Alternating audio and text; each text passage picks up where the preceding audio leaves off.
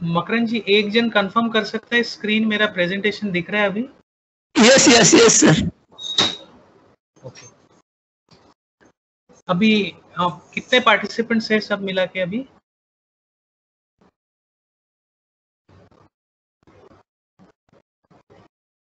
Fifty two okay so should we start now yes sir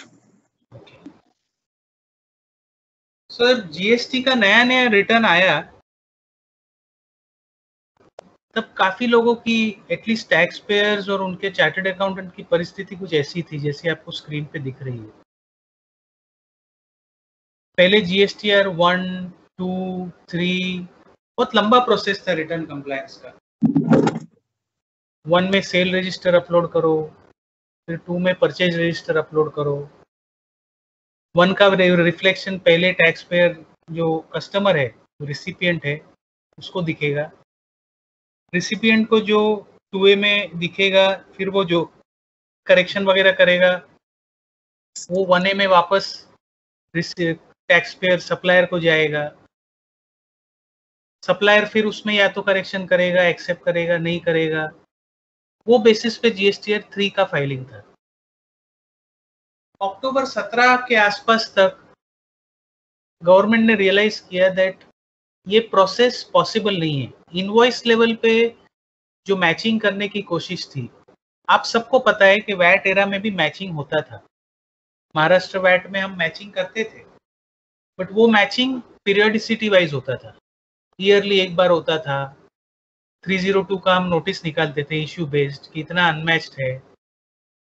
That was always a better way of matching but nevertheless तब government ने सोचा, ये matching को हम live रखते हैं। और एवरी मंथ ये मैचिंग ऑटोमेटिक होना चाहिए और जो क्रेडिट क्लेम कर रहा है कस्टमर रिसीवर उसको हम वहीं पे स्टॉप कर देते जो जो लीकेज जो फ्रॉड होता था, वो हम वहीं प्रेस कर देते बट इंडस्ट्री में काफ़ी रिप्रेजेंटेशन हुआ दैट इनवॉइस लेवल डेटा पे परचेज साइड का मैचिंग एवरी मंथ करना बहुत मुश्किल है। एंड देन अक्टूबर दिसंबर 17 के आसपास there was a big relief एक नया रिटर्न इंट्रोड्यूस किया गया है, जो आज हम सब बहुत अच्छे से वाकिफ है G S T R three B G S T R one पहले भी था, अभी भी है। और G S T R one file करना इजी इसलिए है, जो सप्लायर फ़ाइल कर रहा है, वो बहुत अच्छे से जानता है कि उसकी आइटम्स क्या है। और पर्चे रजिस्टर में इतने सारे आइटम्स आते हैं, इतने सारे एच एस एन कोड आते हैं which makes people a bit confuse okay so it was not easy to handle ये जो सेशन हम ले रहे हैं so earlier I was told that we will take only one session but फिर मुझे लगा कि एक सेशन में पूरा कंप्लायंस करना मुश्किल है। सो so प्रॉब्ली हम ये पूरे ट्रेनिंग को एक से ज़्यादा सेशन मे बी दो या तीन सेशन में इसको बाइफर्गेट कर देंगे। सो so, हमारा ट्रेनिंग प्लान क्या है? रिटर्न्स अंडर जीएसटी जो regular periodic returns tax payer file कर रहे हैं जो आ, आप और हम जानते हैं दो रिटर्न है जीएसटी आर वन और थ्री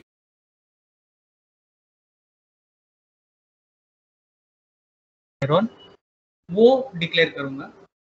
और इसका जो प्लस माइनस का मैथ्स होगा अगर लाइबिलिटी ज़्यादा है इनपुट कम है तो टैक्स पेयर टैक्स भरेगा।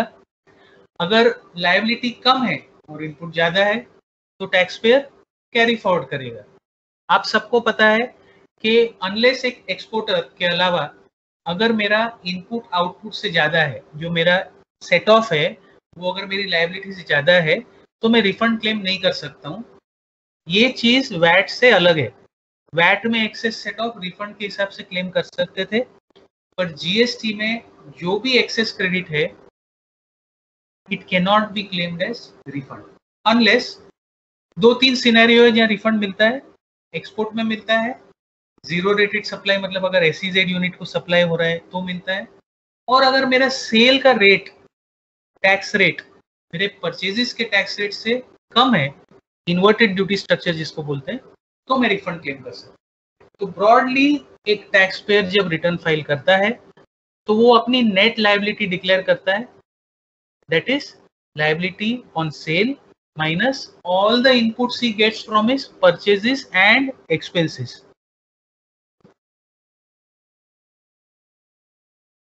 PST में रिटर्न्स का जो फीचर्स है, वो क्विकली हम देख लेंगे।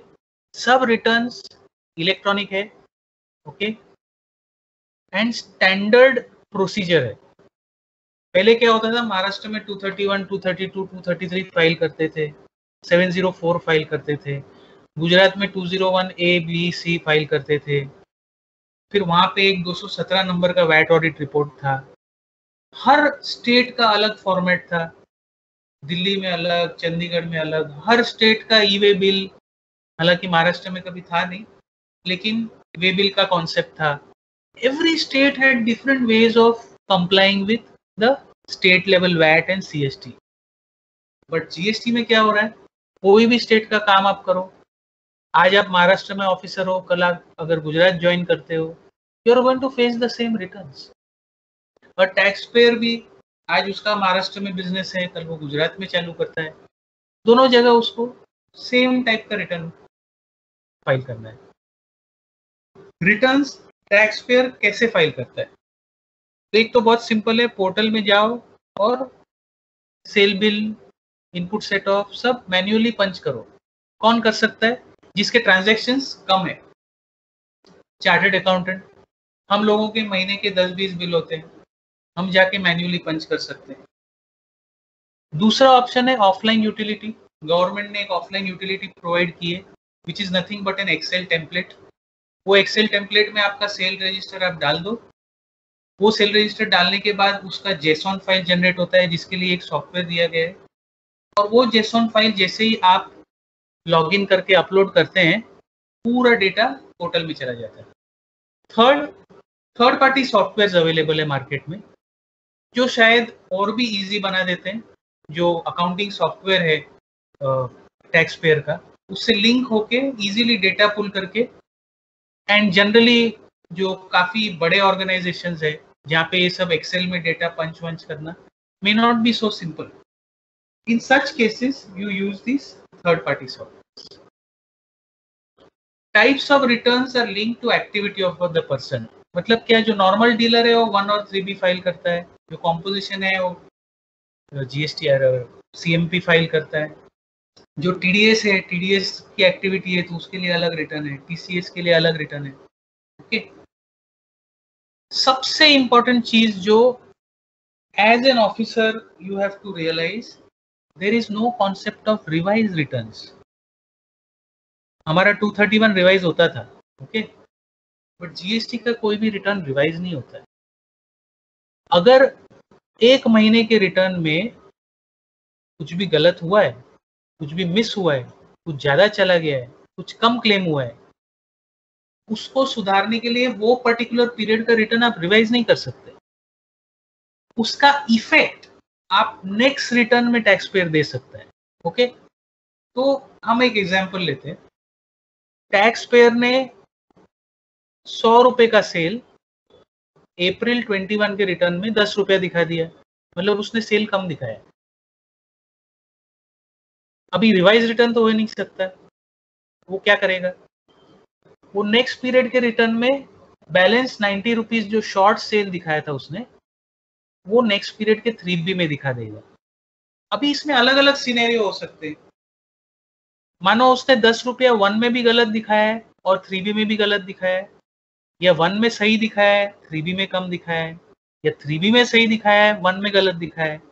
तो जब मैं रिकन्सिलियेशन वर्ड यूज़ करता हूँ what is important is this reconciliation ideally should tally at the end of the year. पर एज एन ऑफिसर क्या ये ज़रूरी है कि आप एवरी मंथ ये रिकन्सिलेशन करें?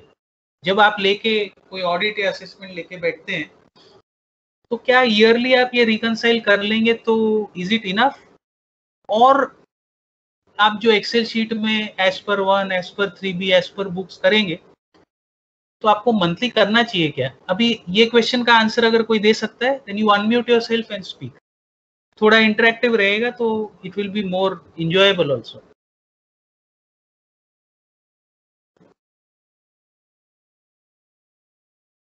कोई भी participant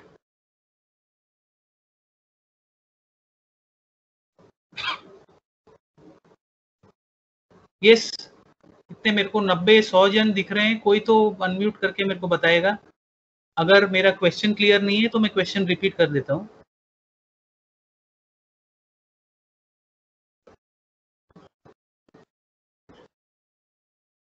Yes, please repeat the question, please.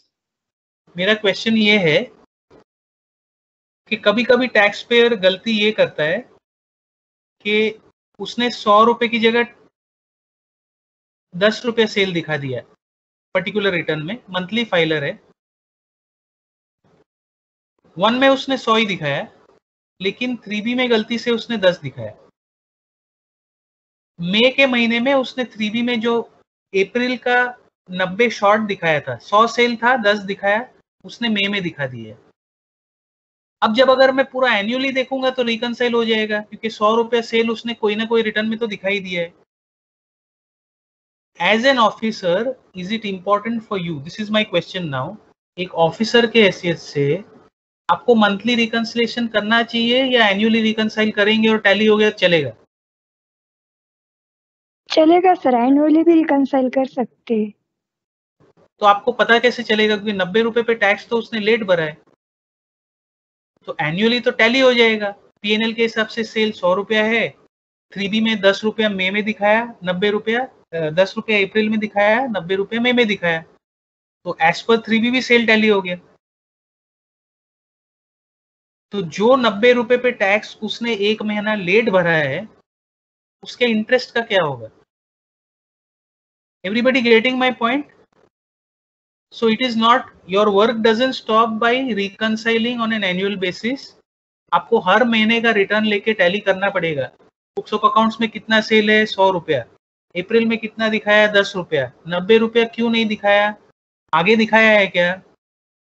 मई में नहीं दिखाया जून में नहीं दिखाया जुलाई में नहीं दिखाया पूरे साल नहीं दिखाया नाइन में दिखाया क्या?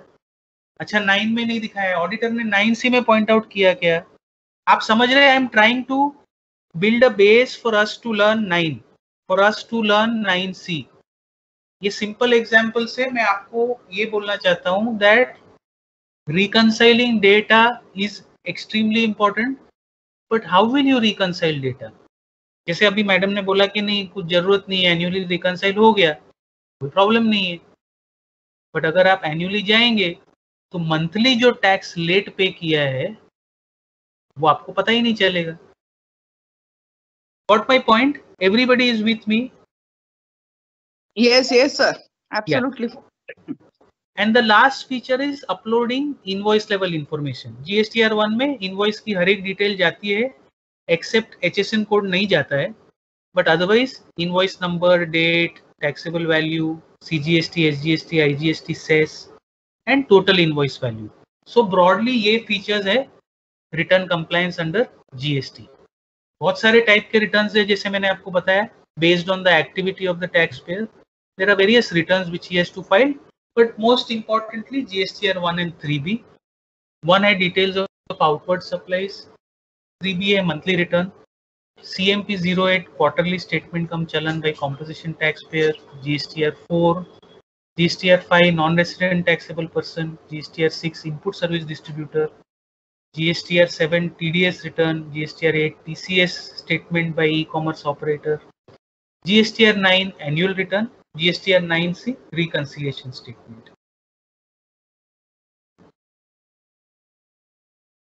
सबसे इंपॉर्टेंट करंट सिचुएशन में जो कंप्लायंस का इकोसिस्टम बोलते हैं ओके इकोसिस्टम आप समझते हैं, जो एनवायरनमेंट है, उसमें एक तो स्टेटमेंट ऑफ़ आउटवर्ड सप्लाईज है जीएसटीआर वन सेल रजिस्टर पूरा अपलोड करना है उसको टैक्स पेयर को is monthly return GSTR three B supplier ने जो जो जीएसटीआर वन में इनवॉइस लेवल इंफॉर्मेशन कस्टमर का नाम जो सेल रजिस्टर में दिया है, उसका रिफ्लेक्शन टू ए में कस्टमर को दिखता है। Okay okay? और और एक स्टेटमेंट है टू बी ये दोनों क्या चीज़ है? इनमें डिफरेंस क्या है वो? Towards the end we will see but basically आप 90 परसेंट टैक्स पेयर ये इकोसिस्टम में अपना कंप्लायंस करते हैं। तो आप भी जब कोई टैक्स पेयर का ऑडिट करते हैं तो ये ब्रॉडली चार फॉर्म है जो सबसे इंपॉर्टेंट है। With this now will do GSTR one details of outward supplies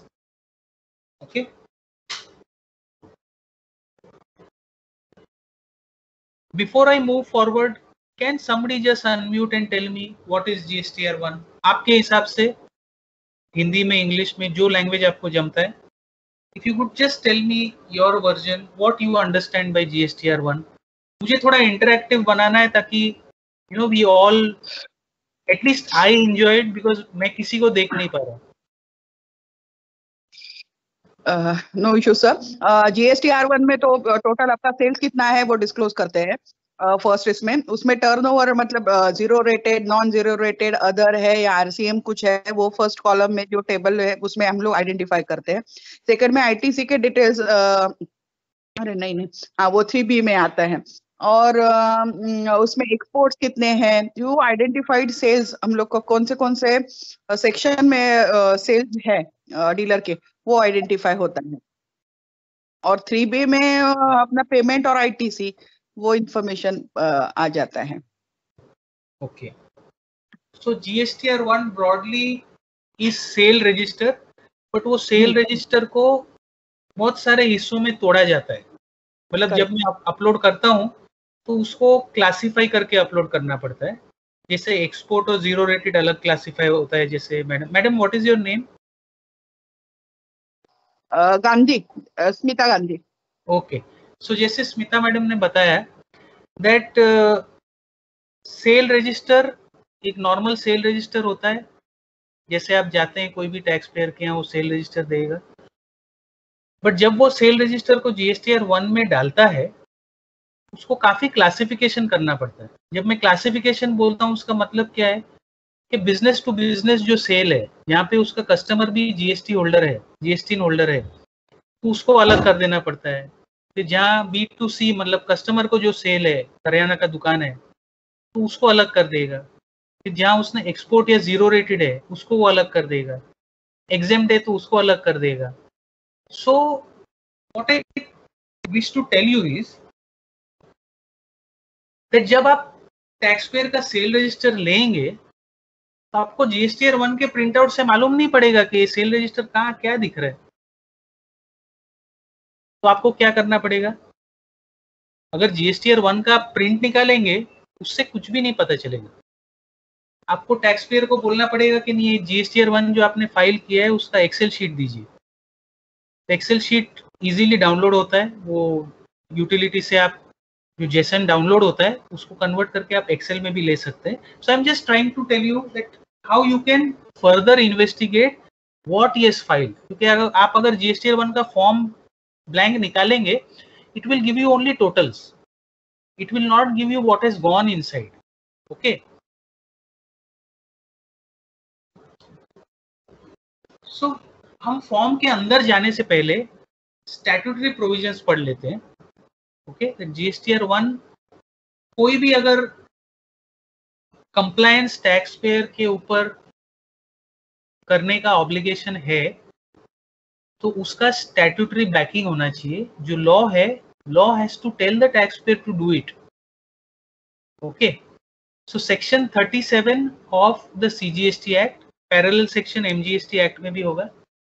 I am reading out this section every registered person जो जो रेड में मैंने हाईलाइट किया, उतना ही मैं पढ़ रहा हूँ, क्योंकि उतना ही रेलिवेंट है for the purpose of understanding okay every registered person shall furnish the details of outward supplies effected during a tax period on or before the tenth of the month succeeding the set tax period यहाँ मैं stop करता हूँ। आप देखेंगे तो word tax period use किया गया है। टैक्स पीरियड यूज़ करने का मतलब क्या है? वो टैक्स पेयर का टैक्स पीरियड मंथली भी हो सकता है क्वार्टरली भी हो सकता है। So what the law says that आपका टैक्स पीरियड जैसे ही खत्म होता है और नेक्स्ट मंथ चालू होता है, उसके टेंथ डे तक आपको जीएसटीआर वन फ़ाइल करना है। वो फॉर्म जीएसटीआर वन है और रूल 59 से आता है, मैंने नीचे हाईलाइट किया हुआ है। Now I'll read it again. Every registered person shall furnish the details of outward supplies effected during a tax period on or before the 10th day of the month succeeding the said tax period and such details shall be communicated to the recipient customer. तो जो first part है वो बोलता है कि आपको अपना sale register GSTR one में अपलोड करना है मंथली क्वार्टरली जो भी हो जैसे ही आप लोग अपलोड करते हैं उसका कम्युनिकेशन कस्टमर को जाना चाहिए। कस्टमर को कौन से फॉर्म में जाता है? Come on someone answer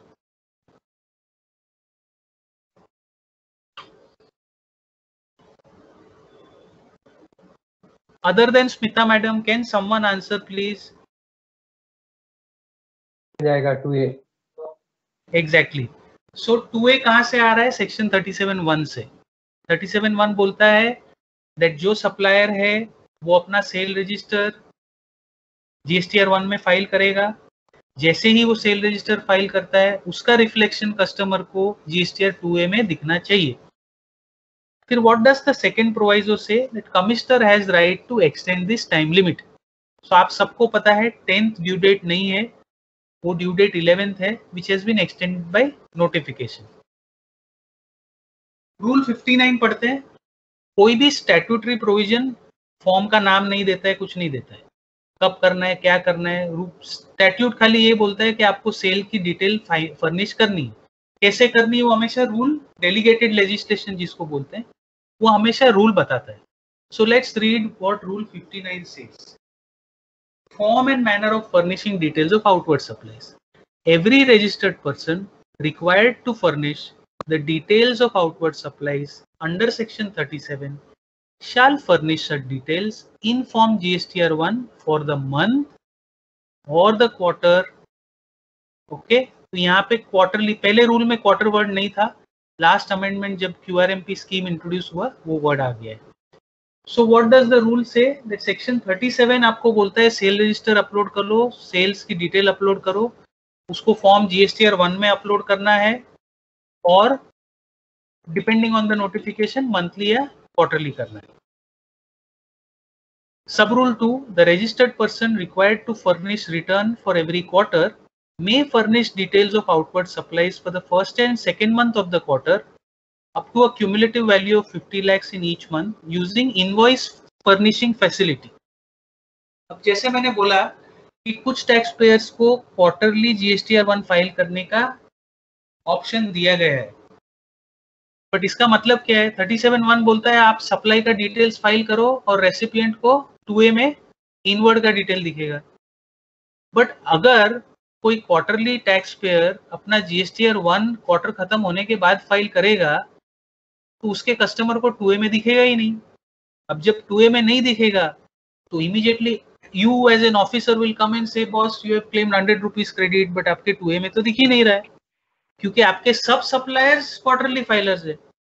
इसीलिए जब क्वार्टरली जीएसटीआर वन फाइलिंग करने का ऑप्शन टैक्स पेयर को दिया गया है, उसके साथ ही गवर्नमेंट ने और एक अमेंडमेंट रूल 59 में किया कि ठीक है, आपको जीएसटीआर वन क्वार्टरली फ़ाइल करना है, लेकिन अगर आपको आपके इनवॉइस की डिटेल्स फिर भी मंथली फ़ाइल करनी है तो आप आईएफएफ मतलब invoice facilitation invoice furnishing facility use कर लीजिए, कोई दिक्कत नहीं। नाउ इधर प्रॉब्लम क्या है? The problem that I see here और the problem that we face is अगर मुझे invoice facility furnishing facility use करनी है तो मैं जीएसटीआर वन ही क्यों फ़ाइल ना कर? दूँ okay so now, this is not something which i'm training you to do. I'm just trying to tell you that because of this iff concept क्योंकि कस्टमर्स के आईटीसी पे रिस्ट्रिक्शन है based on two में क्या दिख रहा है तो काफ़ी कस्टमर्स जो है, काफ़ी टैक्स पेयर्स जो है, वो अपने वेंडर्स को सप्लायर्स को बोलेंगे, बस, मेरे टू में नहीं दिखेगा तो मैं तुमको टैक्स नहीं दूँगा, पैसा नहीं दूँगा. उसके वजह से दो काफ़ी लोग क्वार्टरली फाइलिंग में there allowed to do quarterly filing they are not doing it because their customer will say मेरे टू में नहीं दिखेगा तो मेरे को क्रेडिट नहीं मिलेगा So that is a slight, you can say the negative part of the quarterly QRMP scheme. But anyways, we'll come back. The fact is that अगर कोई quarterly filer है तो उसे अपने इन्वॉइसेस की डिटेल्स जितनी इन्वॉइसेस उसको अपलोड करनी है आईएफएफ से वो अपलोड कर सकता है so what are the due dates for filing GSTR one अगर पाँच करोड़ तक है तो वो क्वार्टरली फाइलिंग करेगा पाँच करोड़ के ऊपर के केस में वो मंथली फाइलिंग करेगा। क्वार्टरली के लिए thirteen of the month following quarter end होते ही तेरह तारीख तक उससे जीएसटीआर वन फ़ाइल करना है। और मंथली के लिए इलेवन ड्यू डेट है। नीचे कुछ नोटिफिकेशन नंबर लिखे हैं। रिसेंटली अप्रैल और मई की ड्यू डेट्स एक्सटेंड की गई थी।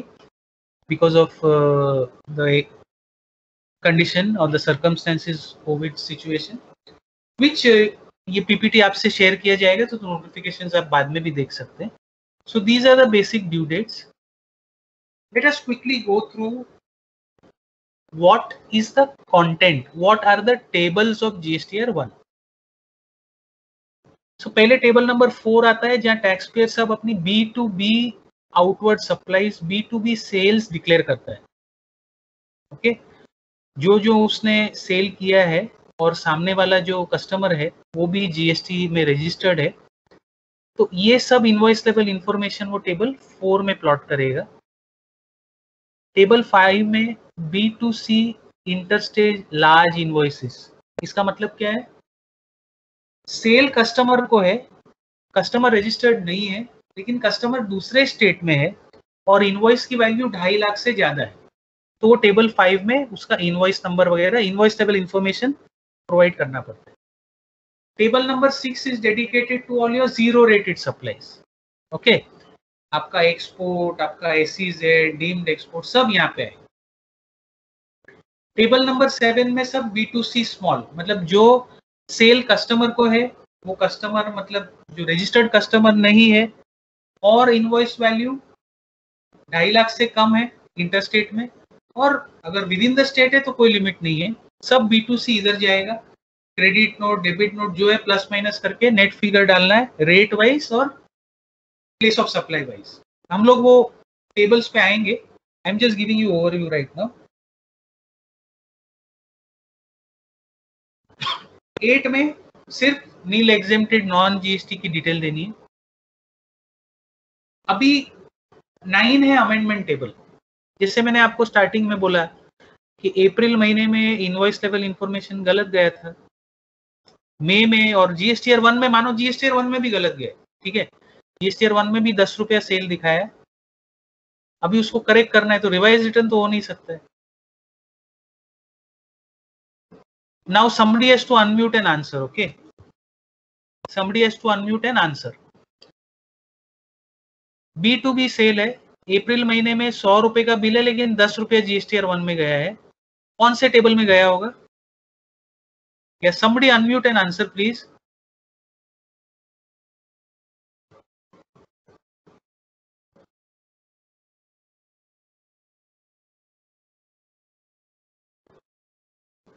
Smita madam, आप ही बता दीजिए। थोड़ा रिपीट कीजिए क्वेश्चन अगर अमेंडमेंट है तो लास्ट में नाइन्थ में ही अमेंडमेंट हो जाएगा नहीं तो, मेरा क्वेश्चन है हाँ, मेरा क्वेश्चन है कि अप्रैल मंथ में हम्म। दस रुपए का बिल बना दस रुपए का बल बिल दिखाया गया है तो अप्रैल महीने में कौन से टेबल में गया होगा जो गलत वैल्यू फ़र्स्ट में ही जाएगा मतलब फोर्थ में बी में एग्जैक्टली exactly. हाँ। एक सौ एक सौ अठारह ऑफिसर अभी लाइन पे है लेकिन कोई मुझे आंसर नहीं दे रहा है मैं किसी को देख नहीं पा रहा हूँ अगर ऑडिटोरियम होता तो कोई प्रॉब्लम नहीं था। बट यहाँ पे स्क्रीन के सामने देख के बात करना बहुत बोरिंग हो जाता है। और स्क्रीन के मुझे सिर्फ़ सुनना भी बोरिंग हो जाएगा। आपका आपकी मेहनत दिख रही है सब लोग अभी दो तीन साल से तो ये सब कर ही रहे रिफंड सब मतलब सबको सब पता है लेकिन हम्म। आपका फिर से ये रिवीजन मिल रहा है तो अच्छा लग रहा है हम लोग भी एंजॉय कर रहे हैं। ऐसे नहीं कि मतलब ऐसे नहीं कि बोर नहीं हो रहे इंटरेस्ट से सब कर रहे लेकिन आपसे सुनना चाहते हैं ऐसे थोड़ा है ऐसे मुझे लग रहा है। Okay okay.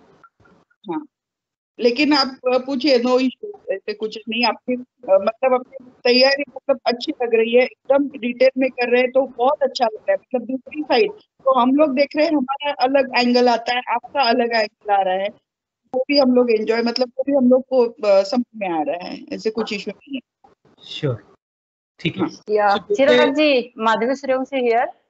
यस मैडम नमस्कार यस yes, नमस्कार। Uh, मैं ज़रूर यहाँ ऐड करना चाहूँगी कि मेरे लिए बहुत अच्छा सेशन है ये क्योंकि throughout the GST introduction time training I was in training section so I could not attend your any of session and this is really very informative and helpful for me so please continue we all are attentive here of course we are attending but just थोड़ा hesitation होता है इसलिए शायद कुछ answers नहीं आते होंगे। But please continue this this kind of training thank you yes ma'am so जैसे स्मिता मैडम ने बताया कि अप्रैल महीने में जब दस रुपए का गलत सेल एंट्री टैक्स पेयर ने टेबल फोर में डाला था रिवाइज रिटर्न अप्रैल का नहीं हो सकता है तो टैक्स पेयर के पास ऑप्शन है कि जब वो मे का जीएसटी आर वन फ़ाइल करेगा, तब वो टेबल नाइन में वो नाइन्टी रुपीज़ डिक्लेयर करेगा। अभी वो नाइन्टी रुपीज़ डिक्लेयर नहीं करेगा, वो हंड्रेड रुपीज़ ही डिक्लेयर करेगा। ये आप सब लोग बहुत ध्यान से सुनिए। I cannot give difference of 90 in GST R one of May मुझे पूरा करेक्ट इनवॉइस वैल्यू फिर डालना पड़ेगा। तो जब आप जीएसटीआर वन का प्रिंट लेंगे तो वहाँ सौ रुपया दिखेगा। अब आप टोटल मारेंगे तो आप बोलेंगे इसका सेल तो 110 है। So all of you please note that GSTR one में जब कोई रिवीजन या रेक्टिफिकेशन होता है सो so, जो मंथ में रेक्टिफिकेशन होता है वो मंथ में इनवॉइस की सही वैल्यूज़ डालनी पड़ती है। Everybody is getting this point it is very important GSTR yes three sir में यस जीएसटीआर थ्री में नाइनटी जाएगा लेकिन जीएसटीआर वन में सौ का पूरा वैल्यू जाएगा अमेंडमेंट में। तो आपको फिर देखना पड़ेगा इसके पहले कितना डिक्लेयर किया था। So that is an exercise which tax payer will reconcile in give you okay तो टेबल नाइन में अमेंडमेंट्स किस चीज़ का होगा? जहाँ जहाँ इनवॉइस लेवल इंफॉर्मेशन गई है वहाँ वहाँ। इनवॉइस लेवल इंफॉर्मेशन कौन से कौन से टेबल्स में जाती है? टेबल फोर फाइव और सिक्स में। तो amendment in table 9 also will happen to whatever is declared in earlier tax period in table number 4 table number 5 or table number 6 next is any amendment to table number 7 b2c में भी mistake हो सकती है एक लाख का cell है नब्बे हज़ार दिखा दिया तो table number ten gives the tax payer the opportunity to amend any incorrect information given in earlier periods, table number 7 that is b2c table number 11 advance and advance adjustments. तो आप सबको पता ही है कि एडवांस पे टैक्स अगर advance goods के लिए मिला है तो टैक्स नहीं है। लेकिन अगर कोई सर्विसेज़ के लिए एडवांस मिला है तो जब एडवांस मिलता है, उसके ऊपर टैक्स लगता है। तो ऑब्वियस है कि अगर मई 2021 में एडवांस मिला है तो टैक्स पेयर टेबल 11 में वो एडवांस दिखाएगा और उस पर टैक्स डिक्लेयर कर देगा। जून में जब वो इनवॉइस बनाएगा ये एडवांस के अगेंस्ट लेट्स प्रिज्यूम जून में वो इनवॉइस बनाता है तो वो दो चीज़ करेगा। एक तो वो इनवॉइस टेबल नंबर फोर में जाएगा प्रिज्यूम कर रहा हूँ कि वो बी टू बी इनवॉइस है। और उसका दूसरा इफ़ेक्ट क्या होगा? टेबल 11 में वो वो टैक्स को एडजस्ट कर देगा, क्योंकि टैक्स तो उसने अप्रैल महीने में भर दिया है। जब एडवांस आया अप्रैल 21 में, तब उसके ऊपर टैक्स उसने जीएसटीआर वन टेबल 11 में डिक्लेयर कर दिया। अब जब वो, जो महीने में इनवॉइस एक्चुअली बना रहा है आउटवर्ड इनवॉइस वो महीने में टेबल फोर में इनवॉइस डिक्लेयर होगा और साइमल्टेनियसली वो इनवॉइस के सामने का टैक्स को टेबल 11 में एडजस्ट कर देगा for the very obvious reason that he has already paid tax in April और declared tax in April table twelve H S N summary काफ़ी टैक्स पेयर्स ये डिक्लेयर नहीं करते इतने ऑफिसर्स है मुझे बताइए आपने कितने जीएसटीआर वन देखे जहाँ एचएसएन समरी डिक्लेयर होता है। है है स्पेशली डीसी लेवल पे है डीसी लेवल पे है। है हम लोग डाउनलोड करके क्लिक करके देखते हैं वो एच एस एन का। नहीं लेकिन काफ़ी टैक्स पेयर करते हैं क्या? हाँ हाँ डीसी लेवल पे जो भी है बड़े टैक्स पेयर्स वो करते हैं। इवन सेवनटीन एटीन से ही शुरू से ही है। यस बट एच एस अभी आपको एग्ज़ाम का समरी आ जाता है। अभी आपको सिंपल एग्जांपल देता हूँ एक किराना का दुकान होता है। बॉम्बे में किराना दुकान का भी टर्न ओवर आठ दस करोड़ होता है। पर उसके यहाँ इतने एचएसएन होंगे कि आप भी ढूंढे थक जाओगे। So in those cases this is a big problem okay document summary document summary में खाली इनवॉइस सीरीज़ नहीं जाता है। बहुत सारी चीज़ें जाती है। जो आरसीएम का इनवॉइस बनाना है, उसकी डिटेल ये डिटेल वो डिटेल डिलीवरी चलन की डिटेल सो डॉक्यूमेंट समरी में सब सीरीज़ डिक्लेयर होता है। It is not so important but at times to control the tax payer के वो बैकडेटेड इन्वॉइस ना बना दे दिस बिकम्स इम्पोर्टेंट दैट इतने ही इन्वॉइस ये महीने में बने। थे ओके सो ये हमने एक ब्रॉड ओवरव्यू देख लिया कि जीएसटीआर वन में क्या क्या जाता है। Let's go through each table now I'll be little quick because we are almost at 12 o'clock and I am still going a bit slow. But at this juncture, if someone else then Madhvi madam and Smita madam, कोई और अगर बता सकता है that how is the training going on? सबको पसंद आ रहा है? Anyone who's not Yes, spoken sir. Yes Yeah. बहुत ही बढ़िया Tell, चल रहा है tell me your name and then uh, my name is Shivaji Nalbe from Jalgaon okay, sir बहुत ही बढ़िया चल रहा है ट्रेनिंग कोई दिक्कत नहीं है। ओके okay, और इतना ही स्लो रखिए सर क्योंकि क्या है बहुत सारा अभी हमने पढ़ा है लेकिन अभी वो रिफ्रेश बहुत ही अच्छी तरह से हो रहा है। तो कोई इशू नहीं है सर बहुत ही अच्छा ट्रेनिंग चल रहा है। और ऐसा ही स्लो रखिए सर तो कि सबको भी समझ में आ जाएगा। नहीं हम एवरी वीक एक सेशन लेंगे will do it on three days so that everybody at least justice होता है ट्रेनिंग के it's not for the sake of it but सब लोग समझने चाहिए क्या चल रहा है। Yes sir exactly exactly, sir आपका स्पीड इतना परफेक्ट आ रहा है ना तो ऐसे दिमाग में जा रहा है। हम लोग को फिर से Yes, रिवाइज yes. करना पड़ेगा या पर से फिर से वो वीडियो जो रिकॉर्डिंग हो रहा है वो सुनना नहीं पड़ेगा। इतना परफेक्ट आप बहुत ही अच्छी तरह से मतलब मैं भी एंजॉय करती हूँ कर रही हूँ actually okay okay thank you thank you so much Chirag ji मैं सुबोध लोटे बोल रहा हूँ। हाँ जी। हाँ बहुत बढ़िया सर बहुत अच्छा करिश्मा चल रहा है। ऐसा स्पीड रखे sir. Okay thank you so much sir so अब हम फॉर्म के अंदर जा रहे हैं। यहाँ पे हमने क्या देखा सिर्फ़? फॉर्म का ओवरव्यू देख लिया। कितने टेबल्स है? टेबल नंबर चार से तेरह। टेबल वन टू थ्री में आपका डीलर का नाम जीएसटी ऐसे करके तेरह टेबल्स है। अभी हम हर एक टेबल के अंदर जाते हैं। Table number four B to B outward supplies उसमें दो तीन सब कैटेगरीज है। टेबल फोर ए जहाँ पे B to B outward supplies है। ओके बट इसमें जहाँ पे सप्लायर जो सेल कर रहा है, उसका टैक्स कस्टमर को भरना है। मतलब रिवर्स चार्ज आउटवर्ड सप्लाईज यहाँ नहीं आएगा। और ई कॉमर्स के थ्रू अगर हुआ है तो वो भी यहाँ नहीं आएगा। बाकी सब बी टू बी सप्लाईज का invoiceable details table four A में जाएगा। टेबल फोर बी में जितने आउटवर्ड सप्लाईज है जिसपे रिवर्स चार्ज में टैक्स कस्टमर को भरना है, वो सप्लाईज का इन्वॉइसेबल डिटेल्स यहाँ आएगा। Supplies made through e commerce operator attracting TCS वो टेबल फोर सी में जाएगा।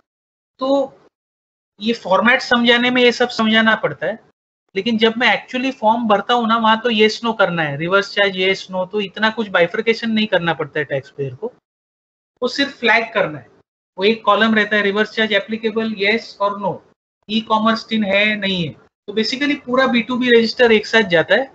ये तो जस्ट फॉर्मेट में आपको समझाने के लिए we are going by the actual form and when we go to table five जैसे मैंने आपको बताया all interstate invoices of outward supplies जो भी मेरी सेल इन्वॉइसेस इंटरस्टेट है, और जो मेरा कस्टमर महाराष्ट्र स्टेट के बाहर है और मेरा इनवॉइस वैल्यू इनवॉइस वैल्यू का मतलब taxable value plus tax total invoice value ढाई लाख के ऊपर है।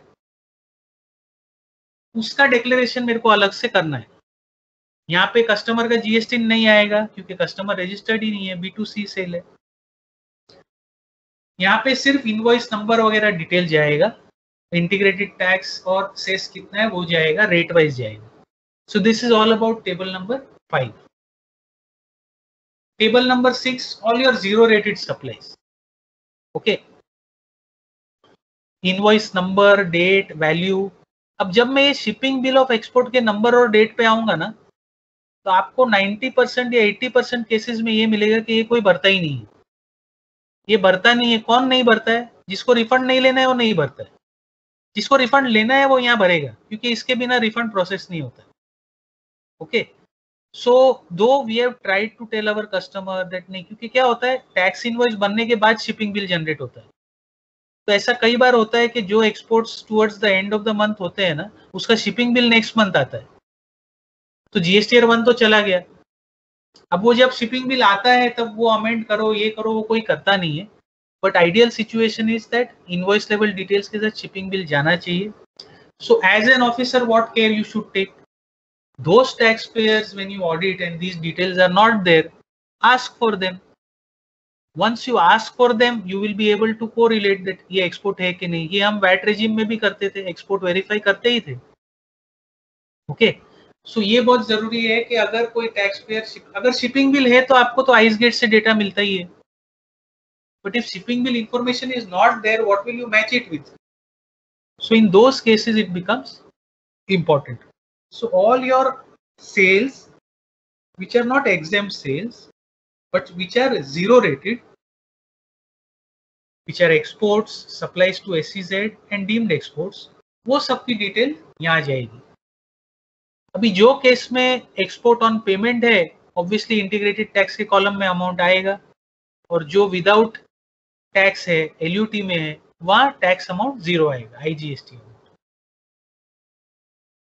अमेंडमेंट जो भी अमेंडमेंट मैंने जैसे आपको मेन समरी टेबल में समझाया जहाँ जहाँ टैक्स पेयर ने टेबल फोर फाइव सिक्स में इनवॉइस लेवल इंफॉर्मेशन गलत दी है, और सब्सिक्वेंट टैक्स पीरियड में वो रियलाइज़ करता है कि भाई मेरे से गलती हो गई है और उसको अगर रेक्टिफाई करना है तो he can use table nine to make rectification to those invoice level details okay B to C small supplies rate wise place of supply wise और इंटरस्टेट है तो ढाई लाख के नीचे होना चाहिए, ऊपर है तो टेबल फाइव में जाएगा इनवॉइस वाइज सो सब B to C supplies net amounts खाली टेबल सेवन में जाएँगे। अगर बी टू सी में कोई गलती कर दी कोई भी पीरियड में तो वो गलती सुधारने के लिए आपके पास टेबल टेन है टैक्स पेयर के पास। Can change the information that he has provided earlier, which was wrong and which he needs to rectify nil rated exempted non GST ये सब details see what I did is मैंने आपको पहले detail में वो एक टेबल में समझा दिया am going fast because I cannot go inside this doesn't make sense that's why that's the reason I am just showing you these tables so that you relate to the summary which I gave you in the first picture. Nil rated exempted non GST ये सब की details यहाँ पे जाएगी। Advances और advance adjustments ये भी मैंने आपको समझाया। जो महीने में एडवांस आया। Okay let me ask you a question April 21 में एडवांस आया और अप्रैल 21 में वो एडवांस के सामने इनवॉइस भी बन गया। तो ये टेबल में जाएगा या नहीं जाएगा?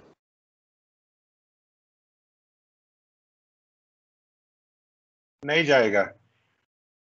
करेक्ट सो so, अगर एडवांस और इनवॉइस सेम मंथ में बनता है तो ये टेबल में कुछ भी नहीं जाएगा।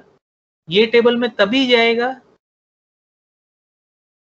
If you read 11a, it very clearly says advance amount received in the tax period for which invoice has not been issued.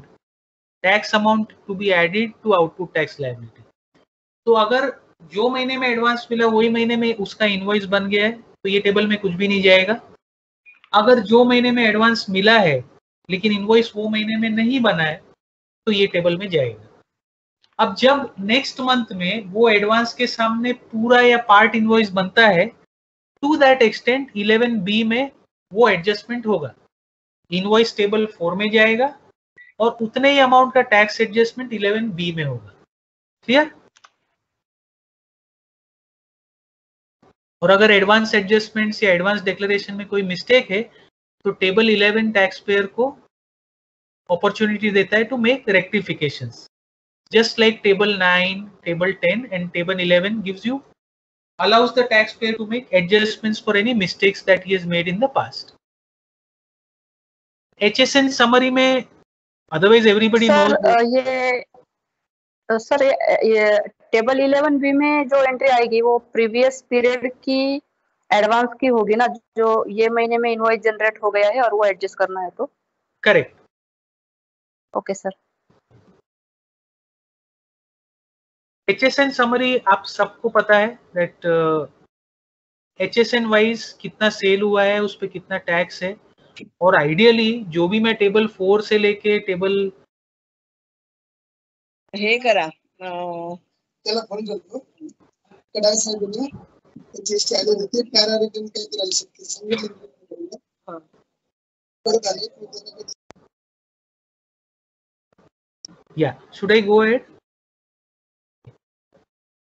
Yes, HSN, yeah, HSN summary हम सबको पता है कि जीएसटीआर वन में जितना सेल डिक्लेयर हुआ है HSN summary उससे टैली होनी चाहिए जो टैक्सेबल वैल्यू है। चाहे टेबल फोर में गया है फाइव में गया है सिक्स में कहीं भी गया है। Okay so that is one exercise you should do that उसका कुछ ज़्यादा मतलब नहीं है लेकिन एच एस एन वाइज आपको मालूम पड़ेगा सेल कितना है रेट ऑफ़ टैक्स सही है। तो till recently H S N summary table 12 में ये रेट ऑफ़ टैक्स का कॉलम था नहीं। तो क्या होता था कि जब हम टैक्स पेयर से डेटा हमारे पास आता था और हम टैक्स को टोटल टैक्सेबल वैल्यू से डिवाइड करते थे तो कोई परसेंटेज आता ही नहीं था, कुछ बलता ही परसेंटेज आता था। उसके वैलिड रीजंस भी हो सकते हैं। मानो को मेरा सौ रुपया सेल है और वो एटीन परसेंट वाला सेल है और वो पूरा मेरा एक्सपोर्ट है।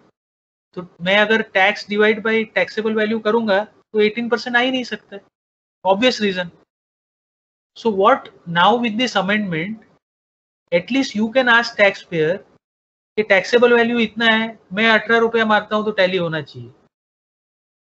तो tax payer will give you reconciliation I am just telling you broadly you have to go by books of accounts it is just one more checkpoint that government has put otherwise, people will hsn kahin bhi kuch bhi dal denge okay? So, this rate of tax column is something new and details of documents issued. There are various documents. Section 31 पढ़ेंगे तो आपको idea आएगा बहुत सारे documents issue करने पड़ते हैं और वो डॉक्यूमेंट्स की सीरीज़ कितने इशू हुए मंथ वाइज कितने कैंसिल हुए और नेट इशू कितने हुए ये यहाँ पे टैक्स पेयर को डिक्लेयर करना है so with this we have completed GSTR one मेरा टाइमिंग अप्रोक्सीमेटली मैंने सोचा था एक घंटे में खत्म करूँगा। हमारे पास और एक घंटा है। So if Mister Makarand is there should be take a 10 minutes break now और should be no problem take 10 minutes break या sure so we in 10 minutes okay.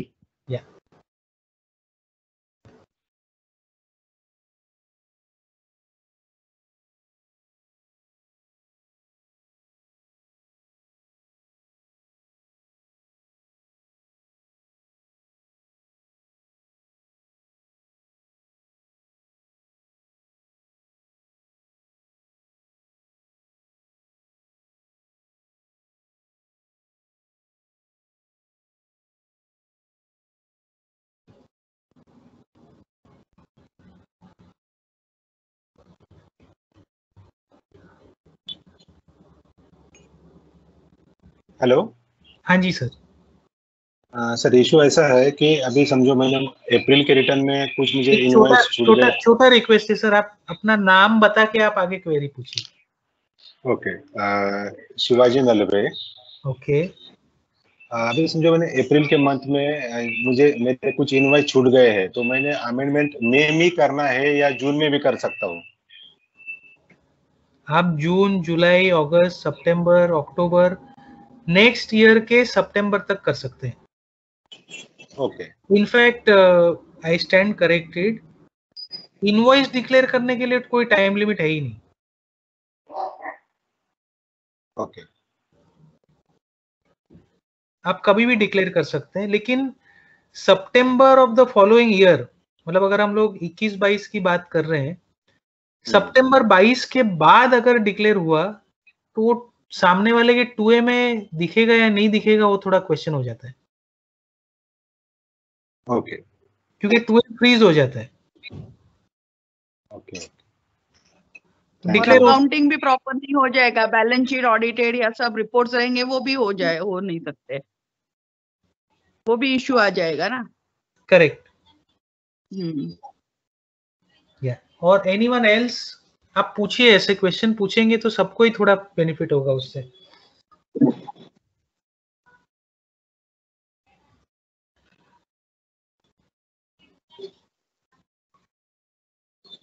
लेकिन ये ऐसे होता है नेक्स्ट ईयर फाइनेंशियल ईयर मतलब आफ्टर सितंबर वगैरह भी डिक्लेयर करते हैं लोग? करते हैं ना मैडम।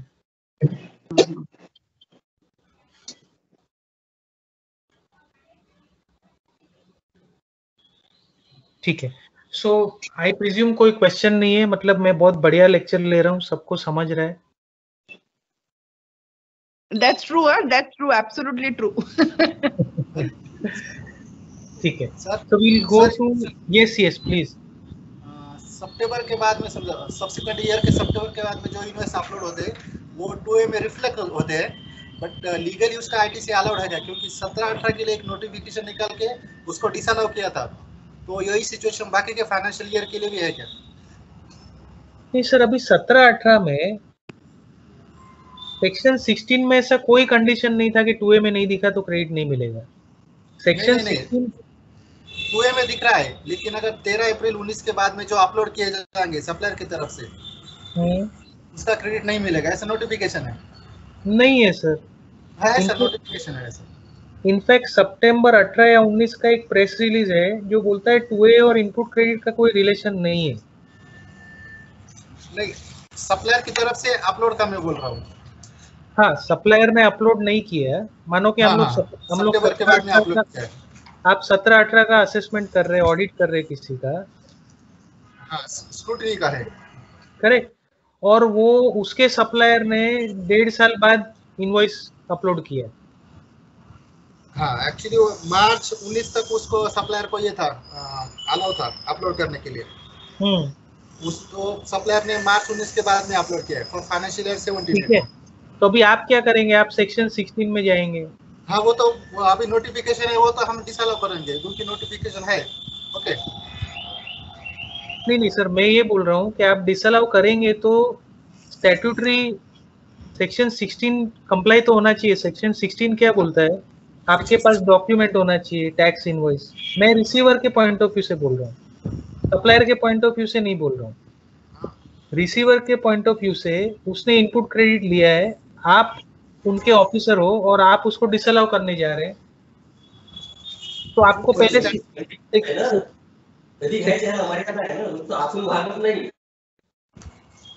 सर हेलो हाँ जी हाँ जी। हेलो हाँ जी मैडम। रंजना देशमुख बोल रही हूँ मैं लातूर से। हाँ जी मैडम। सर एक्चुअली 16 सेक्शन में अमेंडमेंट हुई है जिसमें ये क्लॉज इंसर्ट किया गया है कि मैं उसी पे मैं उसी पे आ रहा था कि वो क्लॉज हाँ। अभी प्रोस्पेक्टिव है। सत्रह अठारह को अप्लाई नहीं होगा नहीं वो सत्रह अठारह के लिए ही अमेंडमेंट है सर स्पेसिफिक नहीं अभी ये जो 2021 के बजट में अमेंडमेंट आया ना कि क्रेडिट क्लेम आप तभी कर सकते हैं जब टू में दिखेगा। वो अमेंडमेंट अभी आया है। नहीं सर ये जो R one file within the time करना चाहिए तभी आईटीसी मिलेगा। ये केवल 17 18 फाइनेंशियल ईयर के लिए स्पेसिफिक अमेंडमेंट है सर सेक्शन में। नो वो अमेंडमेंट कुछ और था। अगर अ, मेरा एक छोटा रिक्वेस्ट है। जी। हम लोग सेशन को डिस्टर्ब नहीं करते सेशन के बाद अगर आप फ़ोन करेंगे तो वी कैन डिस्कस दैट या या ठीक है। Thank you okay so we'll go to gstr 3b that is monthly return again जैसे हमने जीएसटीआर वन के लिए स्टैट्यूटरी प्रोविजंस पढ़े थे, वैसे हम थ्री बी के लिए भी स्टैट्यूटरी प्रोविजंस क्विकली पढ़ लेते। सो व्हाट डज सेक्शन 39 से रिटर्न फ़ाइल करने का ऑब्लिगेशन टैक्स पेयर को सेक्शन 39 कास्ट करता है। Every registered person shall for every calendar month furnish a return in such form and within such time as may be prescribed तो जैसे मैंने आपको बोला सेक्शन हमेशा बोल देगा रिटर्न फ़ाइल करना चाहिए। रिटर्न कौन से फॉर्म में फ़ाइल करेंगे तो हमको रूल पे जाना पड़ेगा। तो रूल 61 बोलता है दैट रूल 61 में monthly return should be filed in form GSTR 3बी again वो सेक्शन का जो प्रोवाइजो है, वो फर्दर ये बोलता है the government may on notification notify certain class who shall furnish a return every quarter, subject to conditions and restrictions. तो हमारे पास एक क्यूआरएमपी का नोटिफिकेशन है, जो बोलता है, थ्री बी कुछ लोग क्वार्टरली फ़ाइल कर सकते हैं. तो वो नोटिफिकेशन पे अभी नहीं जा रहे हैं because it's not our subject it's a Q scheme I am just showing you that three B में बी फाइल्ड मंथली और क्वार्टरली फिर सबसेक्शन सेवन क्या बोलता है? Every registered person who is required to furnish a return under subsection 1 shall pay to the government the tax due as per return not later than the last day on which the return is required to be filed. तो ये subsection इतना ही बोलता है कि अगर आपको monthly return file करना है तो रिटर्न फ़ाइल करने से पहले अगर कोई टैक्स लाइबिलिटी कैश में है, वो आपको पे करना है और उसका प्रोवाइजो क्या बोलता है provided that every registered person furnishing return under proviso to subsection one मतलब जो क्वार्टरली फाइलर है shall pay the tax in such form and within such time as may be prescribe तो जो क्यू स्कीम में है PMT six में every month tax भरो 35 percent भरना है ये वो, मैं उसमें नहीं जा रहा हूँ because we are not discussing Q scheme so I am just saying that subsection seven बोलता है कि अगर आप रिटर्न फ़ाइल कर रहे हो रिटर्न फ़ाइल जैसे वैट में हम पेएबल रिटर्न फ़ाइल करते थे जीएसटी में पेएबल थ्री भी फ़ाइल नहीं हो सकता because subsection seven says that आपको अगर रिटर्न फ़ाइल करना है, उसमें जो टैक्स ड्यू है, वो टैक्स आपको भरना है। हाँ अगर आपको क्वार्टरली थ्री बी फ़ाइल करने का ऑप्शन है तो भी आपको टैक्स तो मंथली जमा करना है पीएमटी सिक्स में। ऑनलाइन लॉगिन करेंगे तो दिखेगा कि आपको क्वार्टरली फाइलर हो क्या आपको पीएमटी सिक्स में फ़ाइल करना है क्या। तो टैक्स तो मंथली फ़ाइल करना है। हालाँकि अभी लास्ट काउंसिल मीटिंग्स में ऐसा लग रहा है कि थ्री बी का पेमेंट भी क्वार्टरली कर देंगे। जैसे मैंने आपको बोला, वो नहीं तो स्कीम लुक्रेटिव रहता ही नहीं है। क्योंकि जो छोटा आदमी एक करोड़, दो करोड़ का टर्न ओवर लेके बैठा है, वो क्वार्टरली फाइलिंग करने के लिए भी जाएगा, लेकिन टैक्स मंथली भरना है आईएफएफ में इनवॉइस भी मंथली अपलोड करना है तो उस स्कीम की वैल्यू कम हो जाती है। Okay so let's go to the form जैसे हमने जीएसटीआर वन का फॉर्म देखा था, ऐसे थ्री बी का फॉर्म देखते हैं। तो थ्री बी के फॉर्म में कम टेबल्स है, क्योंकि थ्री बी का फॉर्म समरी चलन है। ओके जैसे हमारा बीएसटी में चलन रहता था, एकदम समरी लेवल पे चलन, इतना वैल्यू इतना टैक्स खत्म।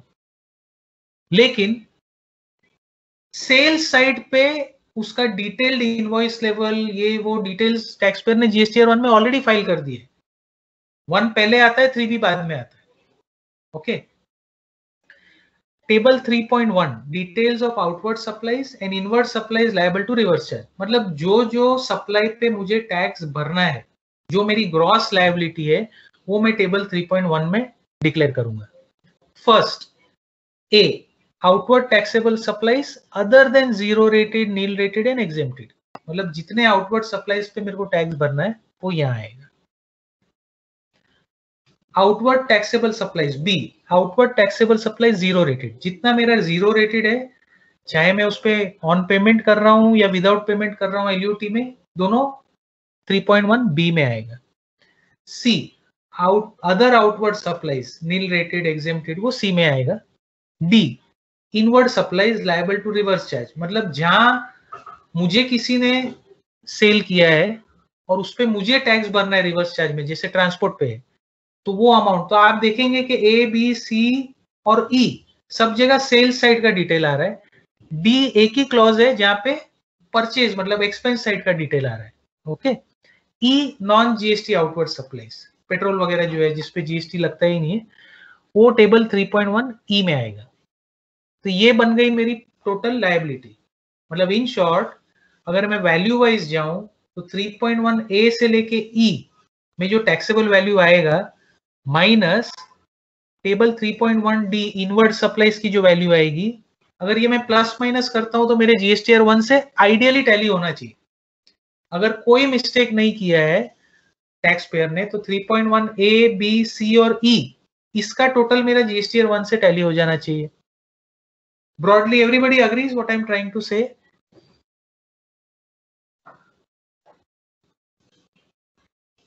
Yes, sir, we agree.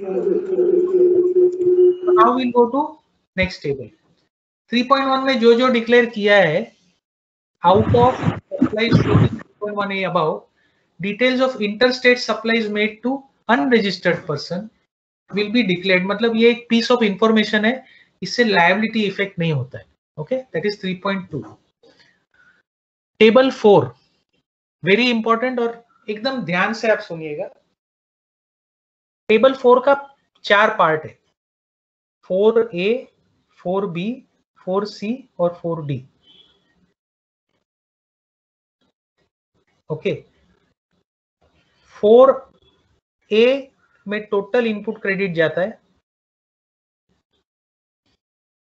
Four A में जो गया है, उसमें से क्या रिवर्स करना है, वो फोर बी में जाएगा। और four A minus four B का जो मैथमेटिक्स होगा, ए माइनस बी, वो फोर सी में ऑटो पॉपुलेट होगा। क्लियर यहाँ तक तो कोई कंफ्यूजन है ही नहीं। फोर डी समझो मैंने रेस्टोरेंट में खाना खाया है, उसका बिल है। उसका credit as per section 17.5 inadmissible है इनएलिजिबल है। वो फोर डी में जाएगा।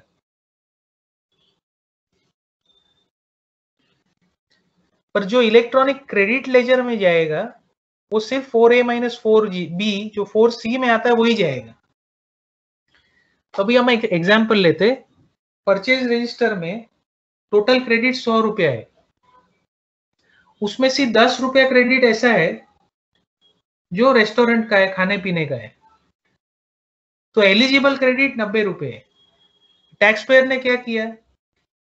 Four A column number five उसने नाइन्टी रुपीज़ दिखा दिया। और four D column number one as per section seventeen five में दस रुपया दिखा दिया। अभी इसका थ्री भी लेके आप बैठे हैं। आप असेस कर रहे हैं स्क्रूटिनी कर रहे हैं ऑडिट कर रहे हैं जो भी कर रहे। हैं आपको पता नहीं है टोटल क्रेडिट सौ रुपए है। ओके तो एज एन ऑफिसर आप 90 माइनस टेन करोगे या 90 अलाउेबल क्रेडिट है? What will be your approach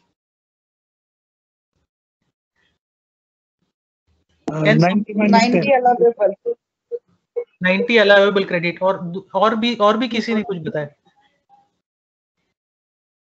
90 minus ten. 90 minus ten जिसने बोला सर आपका नाम? मेरा नाम संतोष मिश्रा है Aurangabad. Okay. So Santosh sir आपने 90 माइनस टेन बोला लेकिन उसके पहले मैंने आपको बोला था टोटल क्रेडिट सौ रुपया है। तो जब मैं कोई credit column number D one में लिख देता हूँ दस रुपया तो संतोष जी आप ये चीज़ समझ जाइए कि वो दस रुपया इलेक्ट्रॉनिक क्रेडिट लेजर में जाती ही नहीं है। Okay sir. Okay sir. Electronic credit ledger में नब्बे रुपया ही जाता है। सो so, उसके पहले जो मैडम ने बोला that my allowable credit will be 90 okay आप जब परचेज रजिस्टर देखेंगे इनपुट लेजर देखेंगे तो सौ रुपया दिखेगा। सौ minus ten ninety credit ledger electronic credit ledger में नब्बे गया है गया है। तो मेरा आपको what I am trying to explain is जो भी कॉलम नंबर फोर डी में दिखाते हैं ना उसका इफ़ेक्ट इलेक्ट्रॉनिक क्रेडिट लेजर में जाता ही नहीं है। तो आपको उसको दोबारा डिसअलाउ नहीं करना है। अभी इसका अलग ढंग से रिप्रेजेंटेशन देखते हैं ठीक है? फोर डी को भूल जाते हैं। टैक्स पेयर ने क्या किया? All other ITC table number four column number A sub column number five में सौ रुपया दिखाया और टेबल नंबर फोर बी में अदर्स में दस रुपया दिखा दिया अभी भी उसके इलेक्ट्रॉनिक क्रेडिट लेजर में क्या जाएगा? हंड्रेड माइनस टेन नाइनटी तो जब आप किसी का purchase register ITC register statement of invoices verify करते हैं तो आपको ये ज़रूर देखना है कि उसके इलेक्ट्रॉनिक क्रेडिट लेजर में फाइनली क्या गया है। उसका रिप्रेजेंटेशन अलग अलग हो सकता है। कई लोग हंड्रेड माइनस टेन दिखा रहे हैं। कई लोग 90 ऊपर दिखा के 10 नीचे इनएलिजिबल में दिखा रहे हैं। तो while assessing a case you should know to read table number four that is what is important okay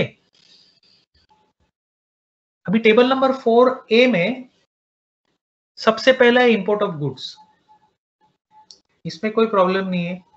अभी तो ये टू ए में भी आ रहा है ओके okay. फिर इंपोर्ट ऑफ़ सर्विसेज़ जो रिवर्स चार्ज में है। फिर थ्री नंबर पे inward supplies liable to reverse charge मतलब जो इंपोर्ट ऑफ़ सर्विस नहीं है, लेकिन जो लोकल पार्टी का रिवर्स चार्ज है ट्रांसपोर्ट है स्पॉन्सरशिप है, ये, वो थ्री में आएगा। Inward supplies from ISD input service distributor है, और जो टैक्स पेयर का असेसमेंट आप कर रहे हैं, उसको आई आईएसडी से कोई क्रेडिट आया है, वो फोर ए फोर में आएगा। और ऑल अदर मतलब जो B to B inward supplies है, वो टेबल नंबर फाइव में आएगा।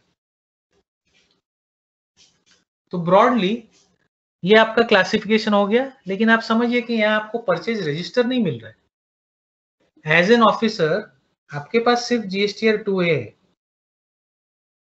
ठीक है? और आपके पास जब आप क्लाइंट टैक्स पेयर से आप मंगाएँगे तो ITC register purchase register expense register जो भी नाम देंगे आईटीसी रजिस्टर आपको देगा। आपके पास अभी तीन चीज़ है। ITC register GSTR two A okay और थ्री बी आपको ये तीन चीज़ में खेलना है। आपको दो चीज़ करना है। एक तो आपका जो आईटीसी रजिस्टर है, सबसे बेस आपका आईटी रजिस्टर रहेगा। आई टू ए भूल जाइए थ्री बी भूल जाइए। टैक्स पेयर बोल रहा है कि मेरे रजिस्टर में इतना क्रेडिट है, ये मेरा आईटीसी रजिस्टर है। वो आईटीसी रजिस्टर में से पहले आपको आइडेंटिफाई करना है कि कितना क्रेडिट अलाउेबल नहीं है सेवनटीन फाइव या जो भी हो, क्योंकि वो आईटीसी रजिस्टर में सब क्रेडिट रहेगा। वो करने के बाद आपको कंपेयर करना है कि अगर आईटीसी रजिस्टर में इतना है तो थ्री में कितना लिया है? ठीक है आईटीसी रजिस्टर में मैं से, से मैं जब डिसअलाउेबल क्रेडिट माइनस करता हूँ तो बैलेंस क्रेडिट उसने थ्री बी में लिया है। तो आपका एक एक्सरसाइज कंप्लीट हो गया। एक एक्सरसाइज कंप्लीट हो गया। कि उसके बुक्स ऑफ़ अकाउंट्स में जो इनपुट क्रेडिट है माइनस जो डिसअलाउेबल क्रेडिट है नेट क्रेडिट उसके इलेक्ट्रॉनिक क्रेडिट लेजर में गया है। मतलब बाय एंड लार्ज उसने लीगल मिस्टेक कुछ भी नहीं की है। अभी आपका नेक्स्ट स्टेप क्या है? उसके आईटीसी रजिस्टर में जो क्रेडिट है, उसको आपको टू से कंपेयर करना है। ठीक है? ये दूसरा एस्पेक्ट है। दोनों को कंफ्यूज मत करिए। जब आप कंपेयर करेंगे तो एक एक इनवॉइस कंपेयर मत करिए। आईटीसी रजिस्टर को आप अभी, आप सबको एक्सेल सीखना पड़ेगा। आप जब पाइवट करेंगे तो आपको टिन नंबर वाइज आपको मिल जाएगा कितना क्रेडिट है। आईटीसी रजिस्टर में भी मिलेगा और टू में भी मिलेगा।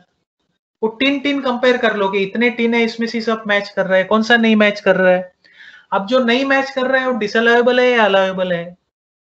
आप समझ रहे मैं आपको एक्चुअली करके नहीं दिखा सकता हूँ but I am just trying to tell you that one is जो क्रेडिट बुक्स में है, और जो थ्री बी में लिया है, पहले वो रिकनसाइल कर लो। वो टैली हो रहा है, वो टैली हो रहा है। अभी जो क्रेडिट उधर लिया गया है, और जो क्रेडिट टू ए में दिख रहा है, उसमें क्या मिसमैच है? ये दोनों सेपरेट एक्सरसाइज है ये दोनों को मिक्स मत करिए। ठीक है? टू में नहीं दिख रहा है तो प्रॉब्लम है। टू में नहीं दिख रहा है उसके रीजन आपको फाइंड आउट करने पड़ेंगे। हो सकता है उसके सप्लायर ने तीन नंबर गलत डाला था। उसने टैक्स भी भरा है। तो एटलीस्ट पास पीरियड के लिए जस्ट क्योंकि टू में नहीं दिख रहा है तो आप क्रेडिट डिसअलाउ कैसे करेंगे? सामने सप्लायर ने टैक्स भरा है, इनके पास इनवॉइस है, सब कुछ है। सर्विस मिला है गुड्स मिला है, सब कंडीशन सेक्शन 16 के फुलफिल हो रहे हैं। तो anyone has question over here generally sir हम लोग के यहाँ पे जैसे टू ए टू ए डिसला हो रहा है बोल रहे हैं वैसे नहीं होता है। क्योंकि एक तो रिफंड के केसेस मंथली होते हैं तो वो एप्लीकेशन भी बाद में ही आता है। तब तक अगर क्वार्टरली इनिशियल फ़ेज़ में था कि क्वार्टरली मैच हो रहा है तो उसके बाद एप्लीकेशन मतलब आना मतलब जैसे अगर मैच देखते हैं सॉरी मैच देख के ही uh, उतना ही एप्लीकेशन करने शुरू हो गए अभी। लेकिन इनिशियल फ़ेज़ में टू ए की वजह से थोड़ा सा प्रॉब्लम था। uh, लेकिन वो क्वार्टरली जैसे रिटर्न मतलब जिनको पता चलता है कि क्वार्टरली कितना मैच आने वाला है बाद में तो उतना वो वेट करके ही एप्लीकेशन फ़ाइल होते हैं। मतलब एडॉक ऐसे टू ए मिसमैच है इसलिए डिसअलाउ नहीं होता है कोई क्लेम और बाकी अगर ऑडिट है तो वो पूरा ईयरली ही देख लेते हैं। ऑडिट तो अभी शुरू हो गया है ना। तो मतलब ऐसे हो नहीं रहा है वैसे फैक्चुअल में देखा जाए तो टू ए की वजह से। हम्म, हम्म, हम्म, ठीक है। मतलब ब्रॉडली और किसी को क्वेश्चन है मैडम आप बोलते हैं लेकिन इतने अभी तो और पार्टिसिपेंट्स 154 हो गए काफ़ी लोग हैं सुबह से। तो मैं चाहता हूँ कि अगर बाकी रीजन से भी मुंबई छोड़ के अगर बाकी रीजन से भी कोई अगर कंट्रीब्यूट करता है तो we can have a better session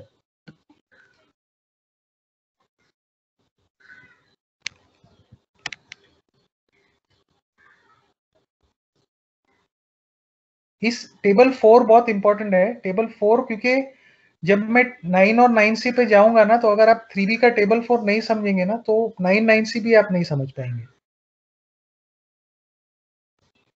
so so, मेरा रिक्वेस्ट है कि अगर किसी को कोई क्वेश्चन है मैंने बहुत सिंपल एग्जांपल से आपको समझाया है। अगर किसी को कोई भी क्वेश्चन है आप इंटरप्ट करिए कोई दिक्कत नहीं है।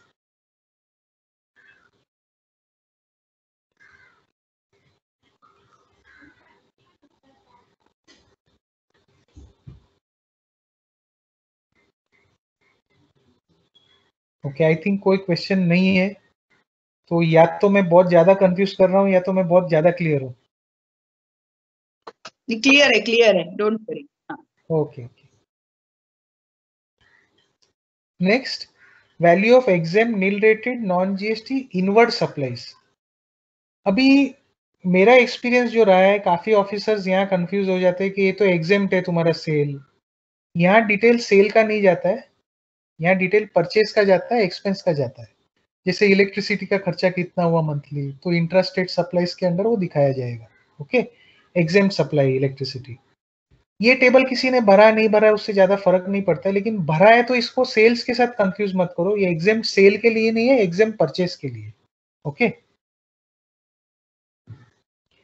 और पेमेंट ऑफ़ टैक्स आपका टैक्स ग्रॉस पेबल कितना था, कितना आईटीसी से भरा, कितना कैश में भरा ये सब बाइफर्केशन अपने आप आ जाता है। इसमें ज़्यादा कुछ don't have to use your mind और अप्लाई योर माइंड ये सब ऑटोमेटेड है और सिस्टम uh, बेस्ड है। सिस्टम गलत करने ही नहीं देता है।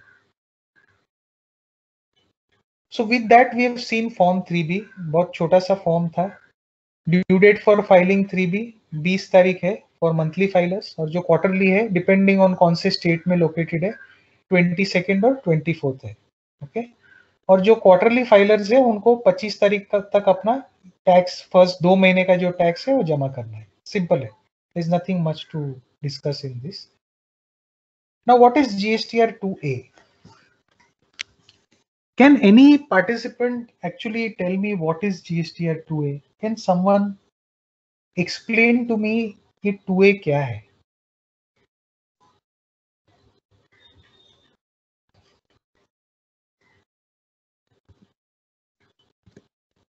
Auto populated uh, matching report of ITC. Smita madam Smita madam sorry but आप अकेले नहीं ओके ओके नो प्रॉब्लम अगर अभी किसी ने आंसर नहीं किया है ना बिलीव मी मैंने जितने रिफंड के असेसमेंट किए ना मुझे I have had hard time to explain the officers because officers do not know certain things and believe me मैंने जितना देखा है there are certain officers who are really good and for the simple reason that uh, if we are making effort you know department is making effort to train officers it is for the good of uh, the आज सब communication online हो रहा है।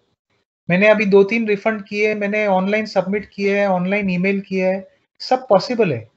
But अगर officer three B और one नहीं समझेगा तो person has to come physically and even after that it becomes too difficult for you to you know explain to him और हर So let's use these training sessions best to clear what we are going through in our day-to-day -day interaction with taxpayers. Let us, we will also enjoy doing the work. Na? आज काम करने में मज़ा कब आएगा जब simple things do not become roadblock. If simple things become roadblock, then it's a problem for the officer because उसको काम करना खत्म लेकिन उससे नहीं हो रहा है. Roadblock for the taxpayer के मैंने सही किया है तो भी ऑफिसर समझ नहीं पा रहा है. So if more questions come, dynamic. When I say dynamic, it means ever changing. जो सर ने वर्ड यूज़ किया आवाज़ साहब ने जो वर्ड यूज़ किया रियल टाइम उसके साथ मैं और एक कैरेक्टरिस्टिक्स ऐड कर रहा हूँ. It is also dynamic dynamic meaning can it can change चलो अकेडमिकली देख लेते हैं. टू ए के चार पार्ट है.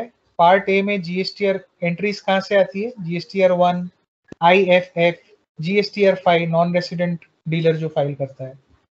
पार्ट बी में आईएसडी की क्रेडिट्स आती है। पार्ट सी में टीडीएस और टीसीएस की क्रेडिट्स आती है। और पार्ट डी में इंपोर्ट का जो आईजीएसटी कस्टम के थ्रू आता है, वो पार्ट डी में दिखता है। ये ब्रॉड जीएसटीआर टू ए है। अभी with example let us understand what is the difference between 2a and 2b.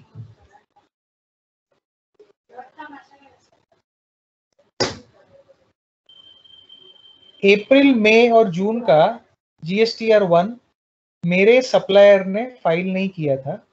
उसने एक साथ फ़ाइल कर दिया। जून के ड्यू डेट के पहले। मेरा supplier monthly GSTR one file करना उसका काम है। पर उसने डिफ़ॉल्ट किया। उसने मंथली जीएसटीआर वन फ़ाइल नहीं की।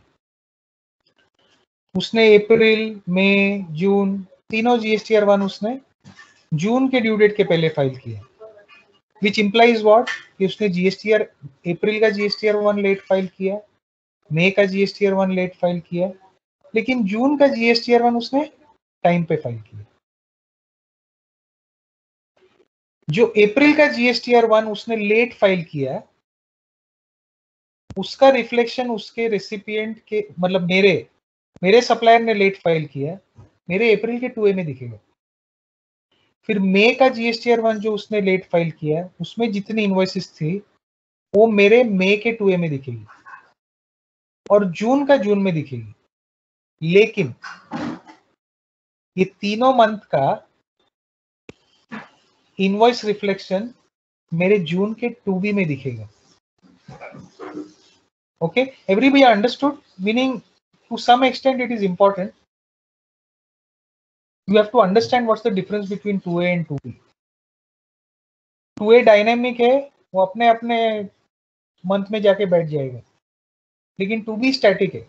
अगर किसी ने लेट वन फ़ाइल किया है तो लास्ट ड्यू डेट से ये ड्यू डेट तक की जो 2b बनेगी ना, उसमें दिखेगी। एनीवन हैज़ अ क्वेश्चन मैंने बहुत सिंपल डायग्राम से एक्सप्लेन किया है। Is nothing very complicated If anyone has question then we can take up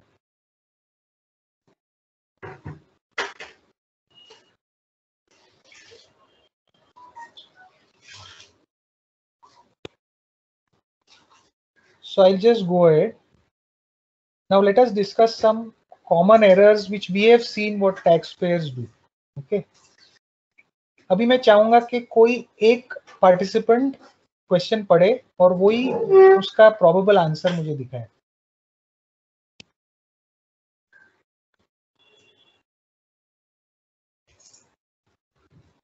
अगर मकरन जी या कोई भी जो कोऑर्डिनेट कर रहा है ना वो किसी का नाम ले लेके पूछ सकता है क्या questions yes sir hello slide पे जो दिख रहा है हाँ हाँ.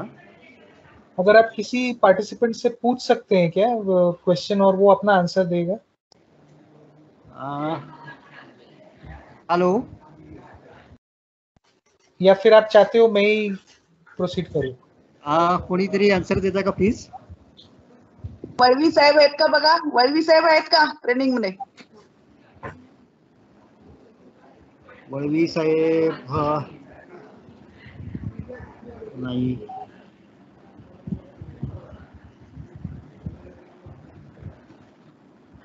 अतुल लाटकर आरती मुळे कोणीतरी द्या.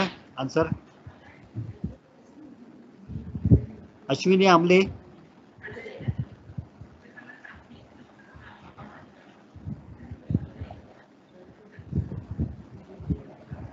Hello Makarand ji I I go ahead मुझे okay okay so first question is will GSTR one agree always with three B उसका आंसर है ज़रूरी नहीं है।